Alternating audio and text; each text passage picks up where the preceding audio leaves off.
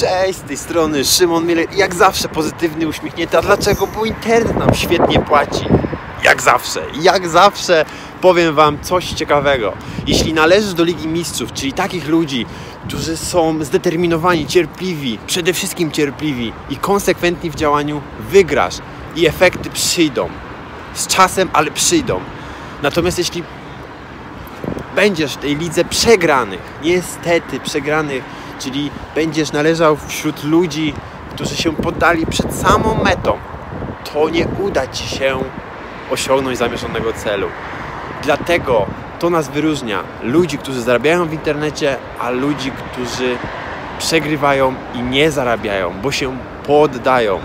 Ja Ci życzę z tego miejsca wspaniałego dnia, jak zawsze znowu to słowo, bo tak jest. Trzymaj się serdecznie, papa.